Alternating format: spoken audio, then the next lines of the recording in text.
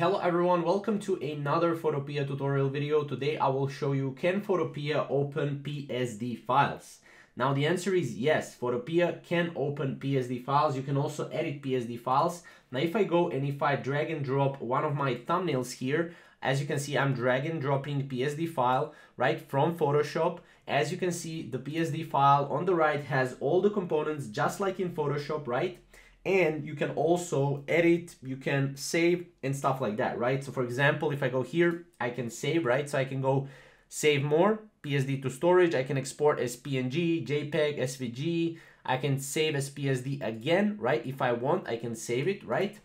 And I can also edit it, right? If I double click here, I can say how to extend, right? For example, and then hit this, and then that's pretty much it, right?